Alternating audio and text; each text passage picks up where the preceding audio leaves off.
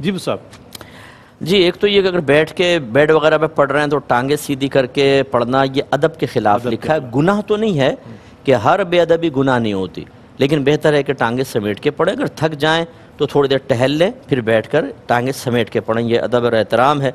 और एक आदमी का फितरा कोई कह रहे हैं डेढ़ सौ हैं कोई एक सौ एक सौ सत्तर भी कह रहे हैं। तो बेहतर है कि 170 दे दें। वैसे डेढ़ सौ भी दे देंगे तो इनशाला चल जाएगा काफ़ी है। वैसे असल उसूल इसका ये है आप घर में जो भी आटा खाते हैं उसके ढाई किलो आटे की कीमत एक आदमी का सदक़ फ़ितर बनता है।